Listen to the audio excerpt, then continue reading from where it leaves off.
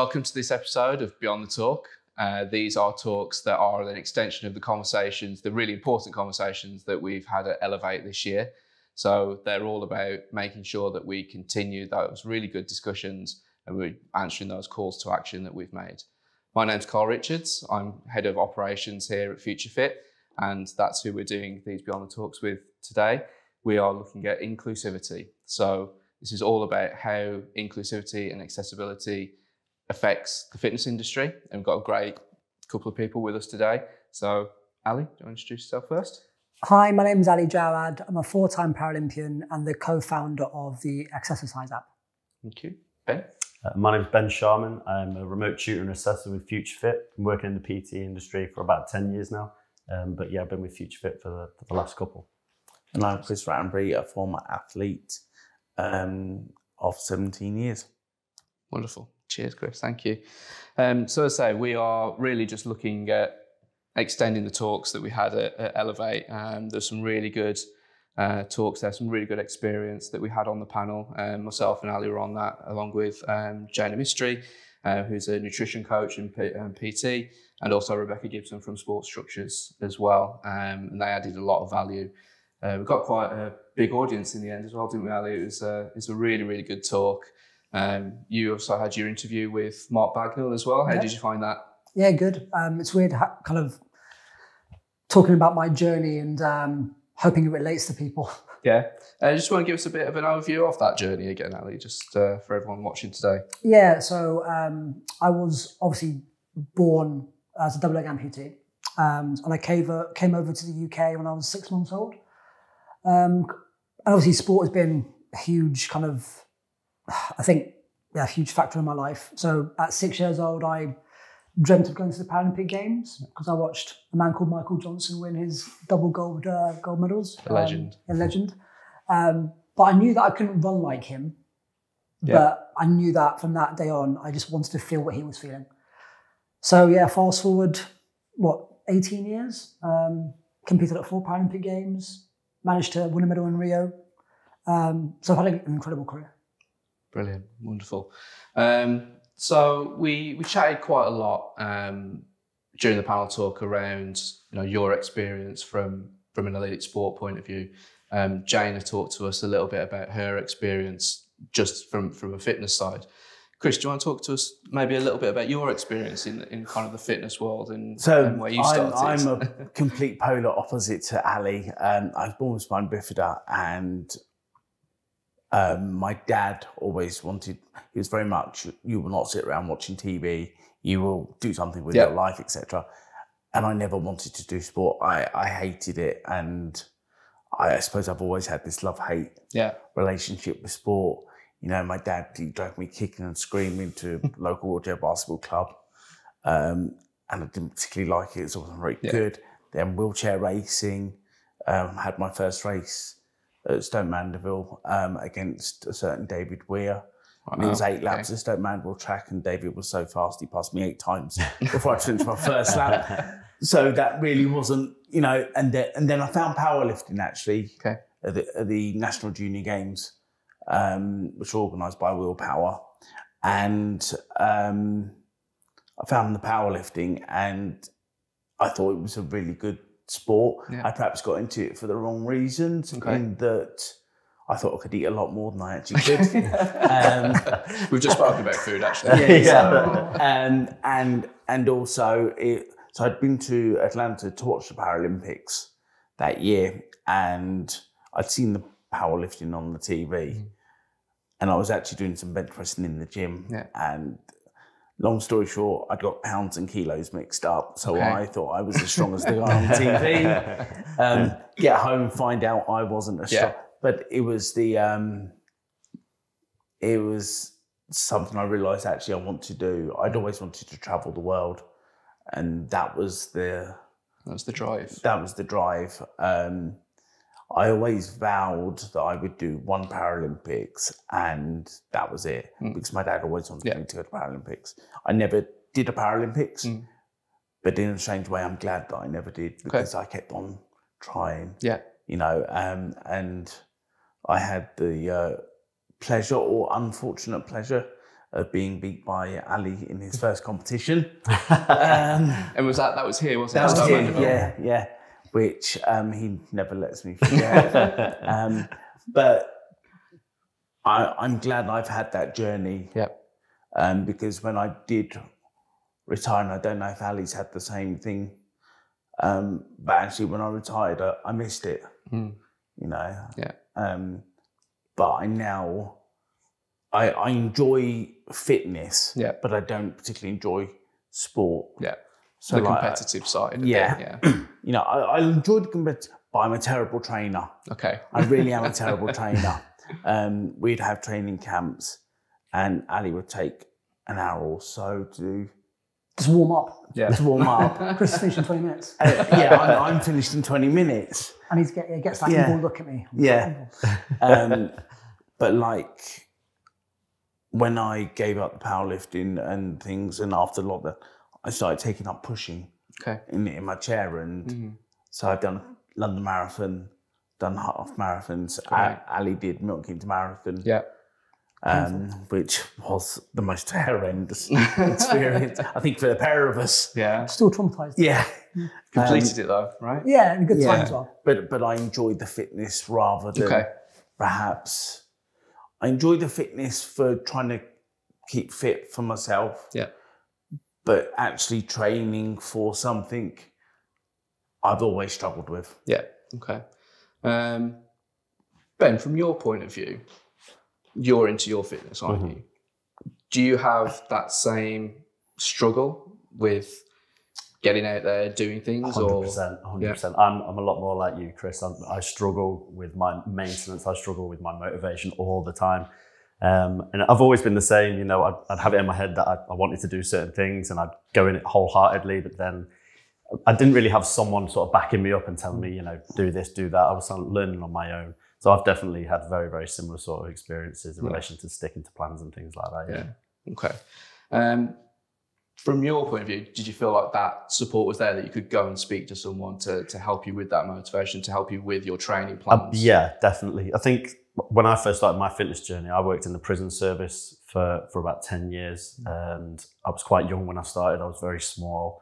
Um, so I was quite intimidated by a lot of the people that I was working with. But I had a lot of colleagues there that was sort of like I, I could go to and ask for support. Yeah. Uh, and through the prison service, that's when I got all my qualifications and things like that. Okay. I started working with people that were from a lot of different backgrounds and Yeah. different ability levels and things like that. There were people with certain disabilities in, in the prison service that we I'd say we worked with, I think there is that stipulation in the fitness. I think we were briefly touching upon it before, weren't we? Where if you don't know, there's not a lot of education there, is Mm. there? So if you don't know, you're sort of like keep them at arm's length. I- Yeah. I can't deal with you. I don't know what to do. Yeah. Um, but after that, going to education, I started to learn a little bit more about it and you Yeah. know, start to get a bit more understanding. I suppose that's it, isn't it? You know, you, you guys have worked kind of sport wise, elite sport wise, whereas, you know, Chris, from a from a fitness point of view, where where do you think that that sits? You know, for someone like yourself in a wheelchair, Yeah. do you think that the, an instructor would come up to you and, and say, "Do you need some help?" or do you, would you have confidence being able to do that with someone? I, I, it's a very difficult thing when it comes to, to PTs Mm. be, because being an athlete for so long, you, you gain a lot of, a lot of knowledge. Yeah, So you know what's what really. what's right for you? You know, yeah, like the handbook of PT, from what I understand, says on a bench press, don't touch your chest. yeah, Um, and we, and I'm sure Ali did the same. We end up screaming at other people, Oh. touch your chest. yeah, Um, but I think the, and it's not just the PT industry, but it's, I think, around the whole disability um, community of weight loss. okay, That's, I think, that's the biggest thing. So before lockdown, or sorry, during lockdown, I'd gone up to about 17 stone. okay, And to be honest, if it wasn't for Ali saying, because I'd always been told I had to lose weight, Hmm. but never been told how, okay, you Yeah. know. He went, here's how you do it, blah, blah, blah. Yeah. And I lost four stone. Um, and there's not that knowledge f- for disability Hmm. um, within the fitness industry because they say, "Oh, have have this many calories." Yeah. Like, oh, I was told to have like two and a half thousand calories to lose weight. Well, if I have two thousand, if I, I'm going to put a lot of weight on, Yeah. and no, for the same because our metabolism isn't as Yeah. quick, I guess. Yeah. Um, and it's harder to burn calories. Yeah. In a wheelchair. Is it in a Yeah. That's wheelchair? it, isn't it? It's not. It's not just about those physical activity No. levels, is it? You know, like you say, that that metabolism is is different in all of us anyway, naturally.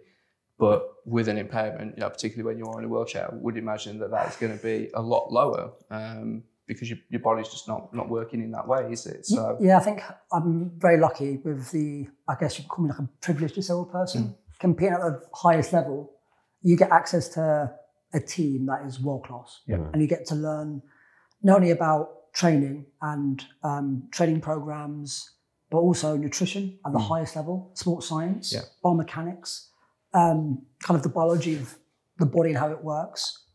So we get access to testing that nobody else gets. Yeah. So what you do is you get to understand how different disabilities function with different calorie intakes. Yeah. Um, I'm like, well, imagine that knowledge at like in the disabled, like disabled community. Like that is huge knowledge that is not being filtered down. Um, and that's what the problem is, right? It's just a lack of knowledge Yeah. or the lack of resource to get access to them sort of practitioners. Yeah. And that's where I guess many people can't really relate to me because I've had that, I guess, privilege of being around some incredible people. Yeah, and I suppose you know, we've talked about the stats a hell of a lot. Um, Twenty-two percent of the population in the UK someone living with a disability. So, how how do we provide that kind of service? Maybe not at that that elite level, but that awareness, that understanding to that population. How how do we start to even approach that? I, I actually think it's quite simple. Okay. Um, I know there's been kind of hesitation, especially from the PT industry, um, to actually involve disabled people because of the lack of knowledge. Mm. But I think for me, it's um, I, I guess the fitness industry at the moment is all about training programs and it being individual. And if you look at it, the training programs are, programs are not individual; they're mm. very generic. Yep. And with the disability community, that is very dangerous because every disability is different, and even the same disability, you've got a spectrum. Yep. Right. So you can't give out training programs, and there isn't a world-leading expert on exercise prescription for every single disability. Mm. So what you do is you give the disabled community um, knowledge, Yep. and then let them try and kind of experiment on themselves. Yeah. Because one, they are the expert on their disability, I think, Mm. because they have to live with it every single Of day. yeah. Two, if they can trial and error, eventually they'll understand what they're capable of.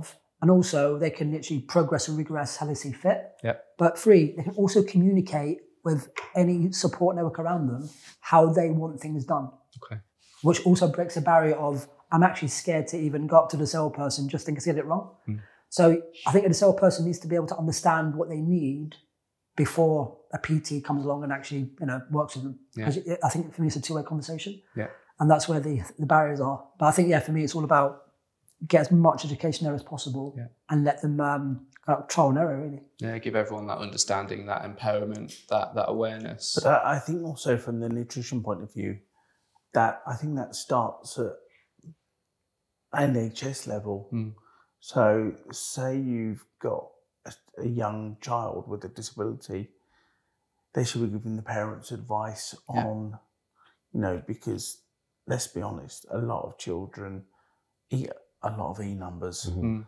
and that's great if they're running around, etc. Yeah. But a disabled child is not Mm. active, so I think it actually needs to start from the NHS, and there is a there is a sadly a lack of knowledge uh, within the NHS. The the amount of times I personally have been in hospital, they've sent a dietitian around to see me because they go, oh, "You're a big lad, send a dietitian around." I tell them what I'm eating, and I'm honest. You know, I like the odd Yeah. junk food. Yeah. Um, you know, really honest, and they go, "Well, actually, that's not too bad." Yeah. It clearly is because I'm getting fatter. yeah, So it's you. It goes back to that calorie intake.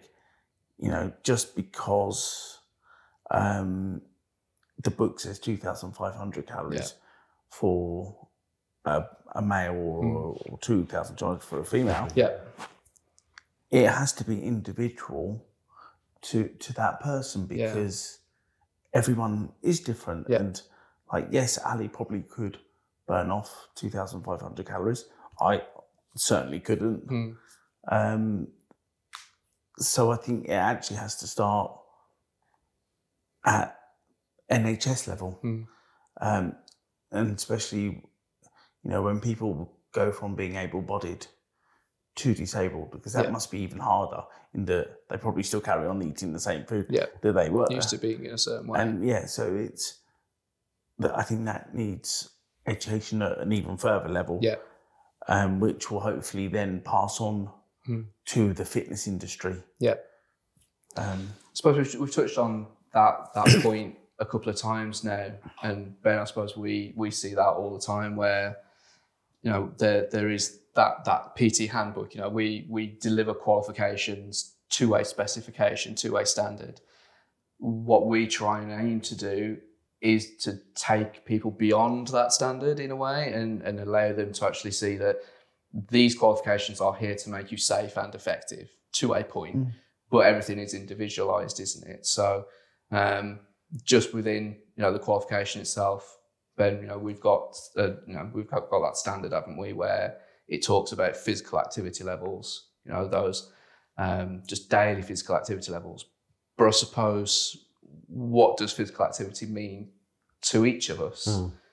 You know, for me, it's taking a walk around to the park, playing with the boys, whatever that might be for someone else it might be elite sport but uh, maybe are we, are we using the right terminology there you know when we say physical activity what does that automatically say to you you know if i say ben be more physically active what what does that mean to you Yeah, I think people have different ideas about what physical activity actually is, and I think Yeah. people that don't aren't as active, they will see physical activity as being structured sessions, gym sessions, Mm. exercise sessions. Whereas, like you just said, you know, physical activity could just be activities of daily living. You know, Yeah. like walking to the shops, taking your kids to the park, Yeah. things like that. So it means something different to different people. Yeah. Um, but i suppose we've got this this large population of people that particularly within a, a fitness qualification we're we're maybe doing a bit of a disservice to and we we need to look at that structure and say well what are these daily activities? You know walking to the shop or taking kids around to the park. Is that appropriate for this disabled community? Or are we are we making it accessible for them just with the language that we're using Yeah, so I had this conversation yesterday. Um, so I know people are obsessed with that, the 10 sta- the t- 10,000 steps, yeah yeah and they go to me, what's the water equivalent? I'm like, I don't know. the, wa- the water I, I was like, I actually don't know what the water Yeah. equivalent is.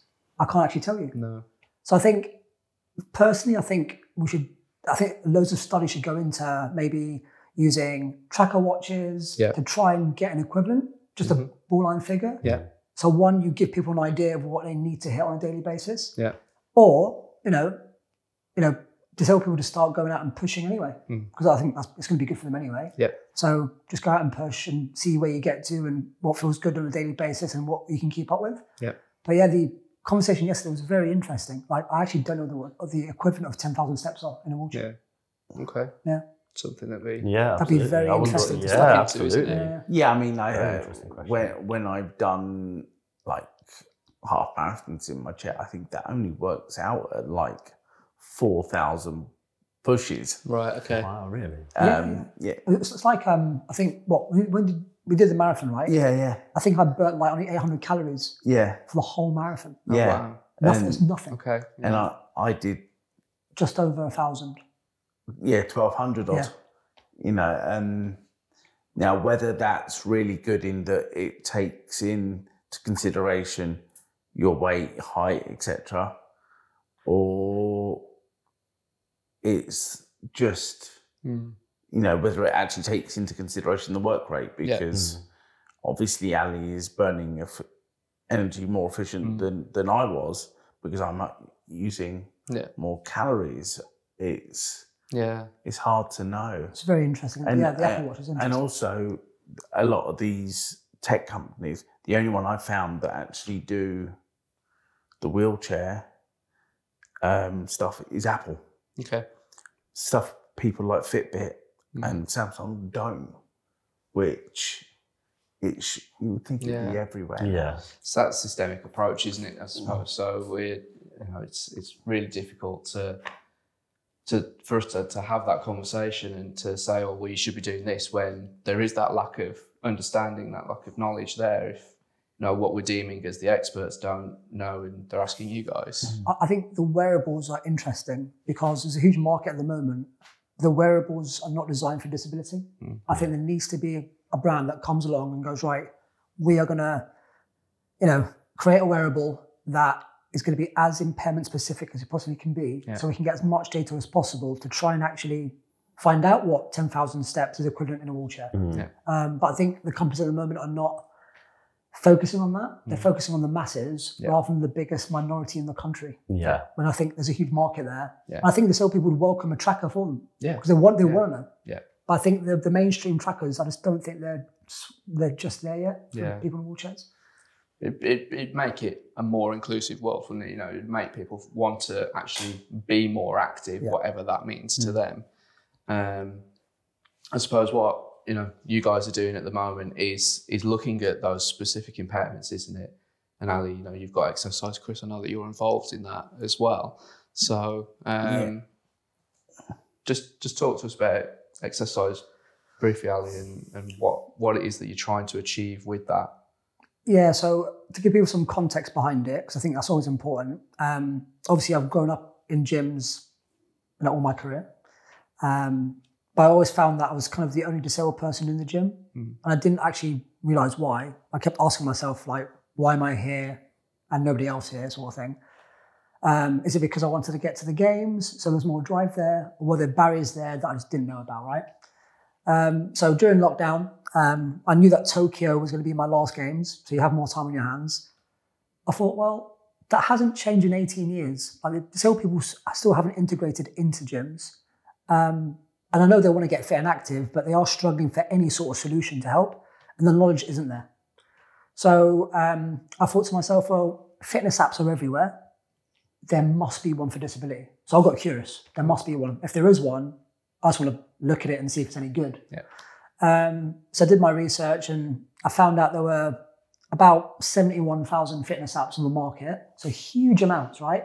So non-disabled people have so much choice, but none catered especially for disabled people. And I thought to myself, it's either I'm not looking in the right places or it actually doesn't exist.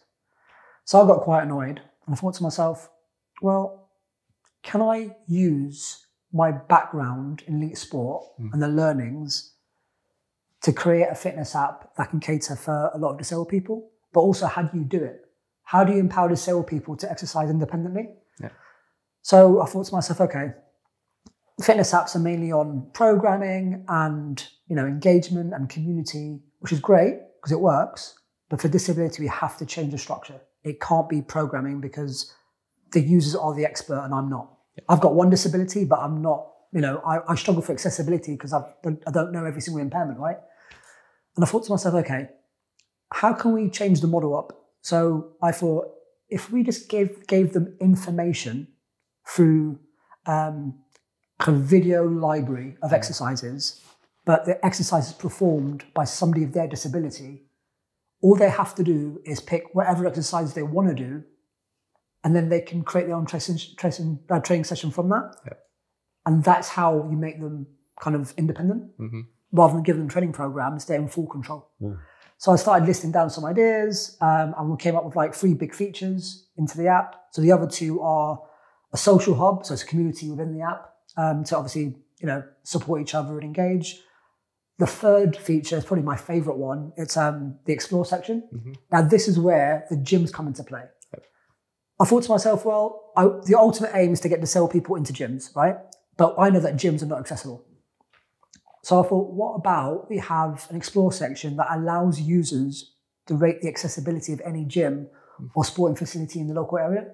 That way they can understand where is the most accessible for them. Yeah. But also because it's public, uh, the gyms can understand just how inaccessible they are. I Yeah. guess, um, which is bad. Obviously, it's not bad. I'm not trying to criticize people.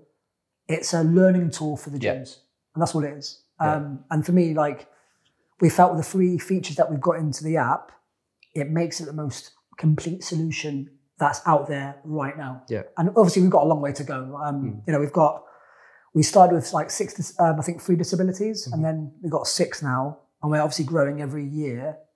And obviously, we want to get it to you know as many disabilities as possible. Yeah. But to get an impairment into an into the app like this takes months of hard Yeah. work to get in because of just it's so niche Yeah. and it has to be unique and it has to be safe. Yeah.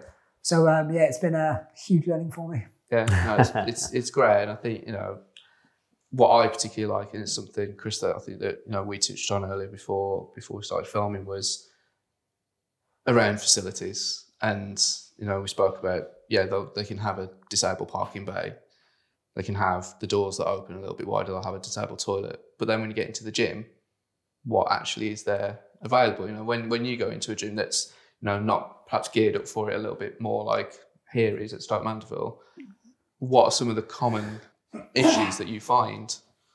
I think, I mean, I'm very lucky in that I can transfer onto some equipment. Yeah. Um, however, there are some equipment that you, again, you need help. Like the biggest one is lat pull downs. Hmm.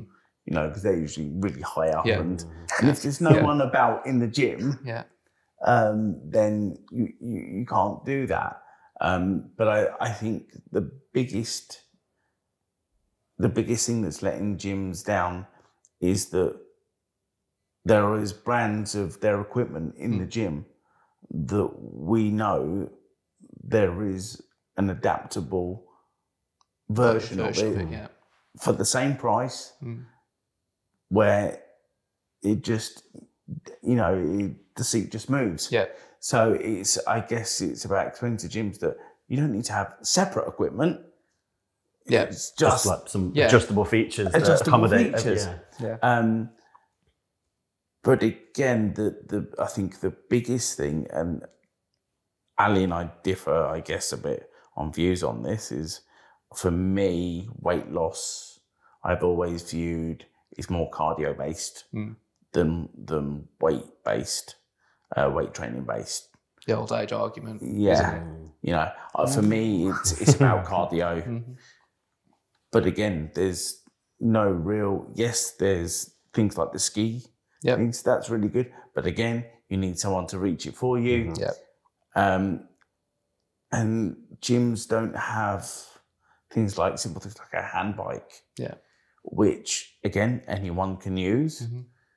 but it's it's it's a great tool yeah, to have and hopefully having the Accessercise app will encourage those Yeah. gyms to go you know that that's Yeah. your gym's not Yeah. accessible yeah, um I think it would really help staff as well, like Mm. people who are PT qualified within gyms to sort of open their eyes a little bit Yeah. and see, okay, we maybe have this equipment now that's going to accommodate people with disabilities, but Mm. they want to improve their knowledge on it as well. i mean it it it, it does put off disabled people going to the gyms Mm. because why would you want to pay some of your income to go to a gym that you can't use Yeah. And now we have things like these 24 hour gyms, which are very reasonably priced.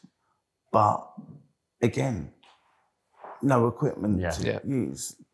Uh, so yeah. it's, it's, it has to change, and hopefully the Accessercise Yeah, I think, I will think this will that. raise that awareness, won't Yeah. it? Um, and the more conversations that we can have, you know, with some of those chains, um, I don't know that we're going to do some work with them as well.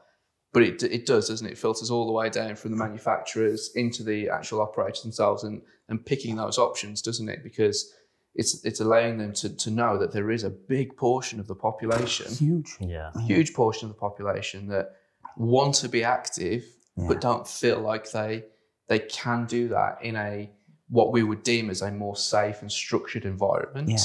Um, and that's where we'd we'd like to to have people, isn't it? Because we can support them. Yes, maybe not with the programming, because like you say, you guys are experts a little bit like an, any other client would be Yeah, yeah. is that they are the expert. They know what they want to do and they know what they prefer and what they don't.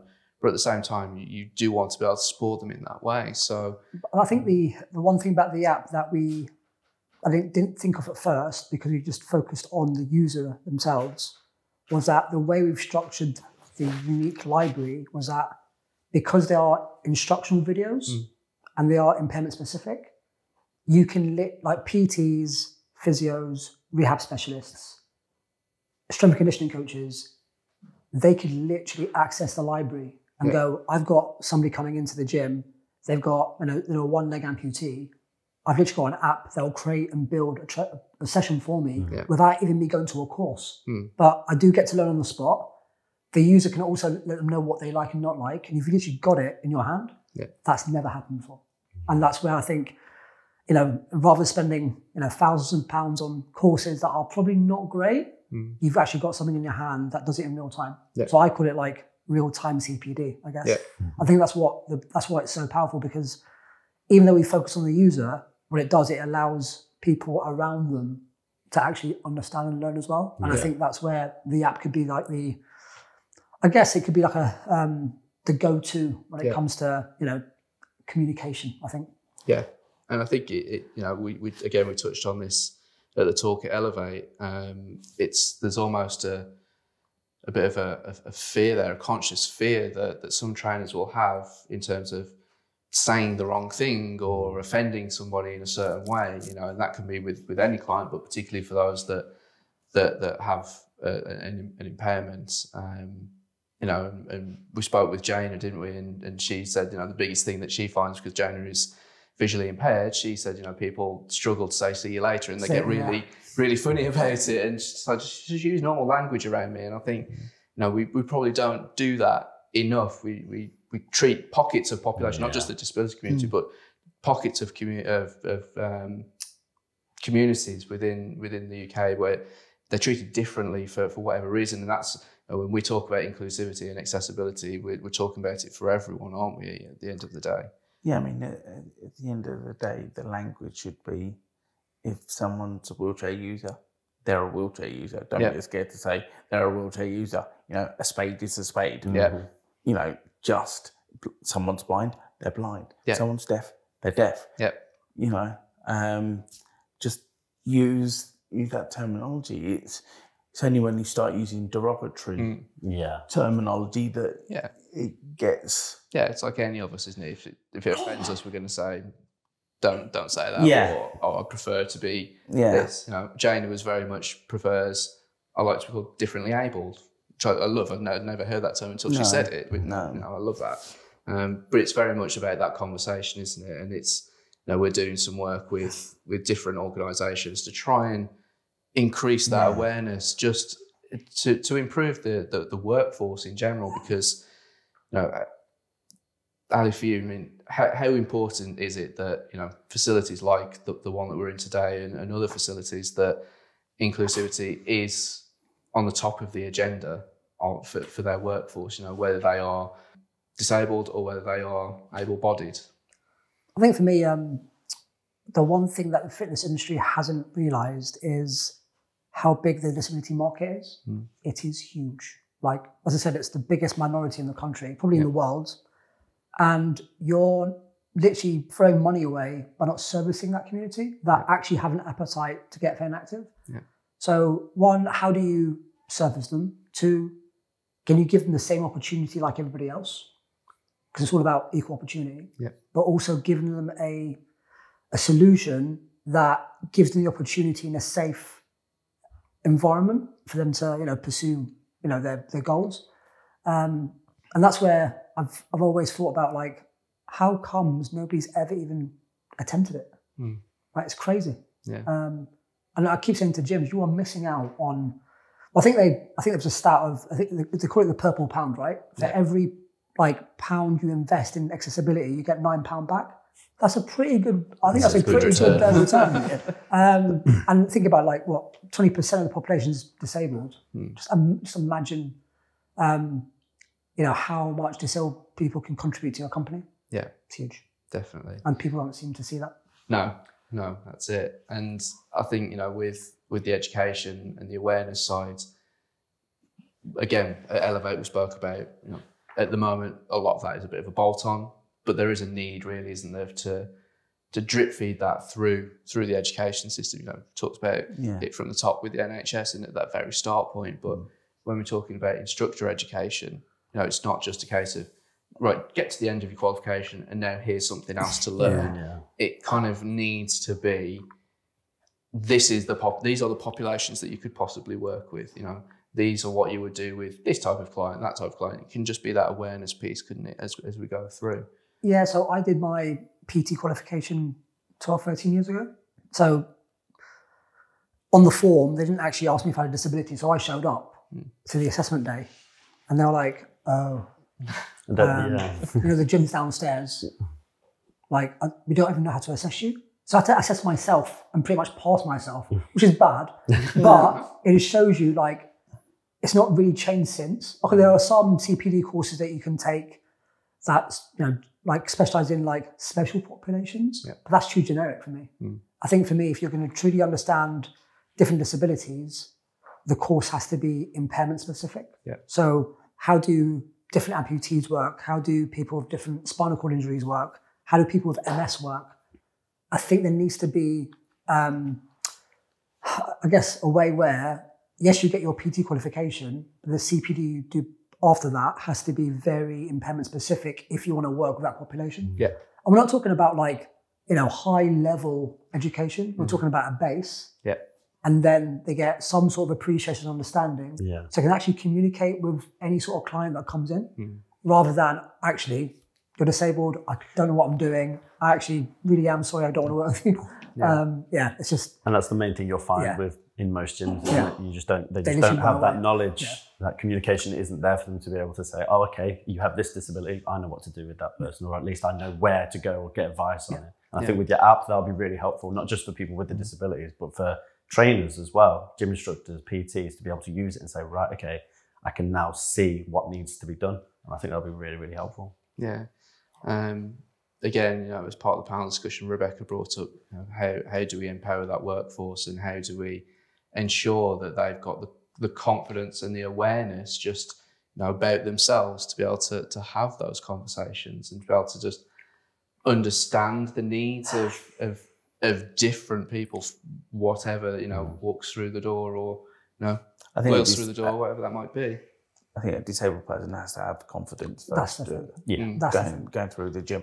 And I, the way I think um, that's going to get better is by people working out at home um, because there's been this big boost of working out at home because Yeah. of lockdown. And obviously, you can only reach to a certain point when you've worked out from home. So you then will have the drive to go that, hopefully, have that drive to go further. And to do that, you you need to join the gym. Um, so it's about giving those disabled people the confidence Yeah. to know that they're going to a gym that people know what they're doing, the equipment's there, and if they want, you know, they don't have to be babysat to train. Um, Yeah. And they can just go on and crack on with training. Yeah. Um, no, as, as part of the as part of the talk, we we spoke about the call to action, didn't we? You know, and and not just talking about it, and what is it that we're doing beyond those talks, which is you know kind of what we're doing today, and, and carrying on that conversation. But we don't want it to just continue being that conversation. So you know, we've definitely got the Accessercise app, and, and you know we're we're here to support that. As as here at Future Fit, you know we are committed to to accessibility, to inclusivity um, across our not just our workforce, but within our courses as well. So we are going to start to to integrate some of the work, you know, Ali, that, that you've started, and we're going to continue that um, as as part of that with with yourself. So um, I suppose what what do we what else do we need to do moving forward? What would be the big the big takeaways from from this summer, and, and what do we want to see next year? I think I think the big one for me is um, getting the fitness industry on board with it. Like a lot of them say, we want to be accessible. I'm like, prove it. Oh well, there's always an excuse. Um, so I'll give you an example. We approached a very big gym chain uh, recently, and they admitted that all their personal trainers have no clue about disability. But they want they, they actually had a inclusive like um, officer making sure that the company is it could be as inclusive as possible. And they go, oh, through your app, we could we could do that. Um, and they chose not to proceed. I was like, well, you literally employed somebody for that reason. Yeah. You've admitted that none of your workforce has got any education and you're simply going to walk away from it. They made it very hard for us. Yeah. So I think until you know the gym chains come on board and actually act rather than project a message, um, we're not going to get anywhere. I mean, uh, before Christmas, I cheekily emailed all the gyms I could think of, big name gym, and I copied in a couple of newspapers into the email and said, you know, what? Why don't you have this Yeah. these facilities? Um, you know, it's not going to cost you more. Yeah. Why don't you have that? And only one gym replied. Um, and they said, you, you need to speak to your local branch manager. But who will then go and speak to head office? Head office. So why So not it's someone else to Yeah, talk to. exactly. Yeah, why not as head office just answer the question? Mm. Yeah. You know, it's it's not it's not difficult, No. um, and they just need to realise it's not difficult, and they can because as a disabled user, you want to get value for money. Yeah. And some of these gyms cost forty pounds a month. Mm. Now, if you're paying forty pounds a month, but you can only use, say, two bits of equipment, that's not value for money. No. You want to be able to use as Yeah, much as you much as can. possible. Yeah. yeah. You know, be able to work up your whole, whole upper body or lower body, dep- depends. Yeah. Um, but getting gyms on board is the most difficult thing. Um, and how we do that, I, I don't know. I think they see it as a criticism. Yeah. Um, I think they Yeah. they see it as an attack on them. I'm like, well, no, like use the explore section as feedback. Feedback. It's live yeah. feedback. You won't get access to that sort of community otherwise. And it's not like you know you're getting ripped to shreds. It's all just a it's just a rating. It's feedback, and like you say, there's there's a market share there to be had, and you know we know that the world is driven by money. Yeah. Um, but it's just making sure that you know, as well as knowing the commercial opportunity, it's understanding the ethical opportunity there as well. So, you know, I think that we could definitely push that forward. I mean, I, I know of one gym in my area that is accessible. However, their brand it costs about hundred pounds a month. Yeah. To to join their gym, Yeah. and I don't. I, I anyone that works um, doesn't have that sort of money Yeah. in, in today's climate. Let alone a disabled person who who may or may not yeah, work as well. Yeah. Um, I think another thing that I'd love to see within the industry is more disabled PTs. yes, Yeah. I, and I think that would also empower more disabled people to go to a gym. yeah, Um, and also having disabled PTs, PT, not just disabled people, but able bodied Yeah. people Yeah. as well. I think that would really change the industry yeah, massively um, and encourage and break down barriers. yeah. It is those barriers, isn't it? It's Yeah. about having those role models, but also having someone that they can resonate with as well at the same time. Okay. Well, everyone, thank you very much for your time today. We hope you found this discussion really useful today. We'd love to hear your feedback. Be sure to follow us on Facebook, Instagram, and give us a subscribe on YouTube. Keep an eye out for details of our next Beyond the Talk session, and we look forward to seeing you there.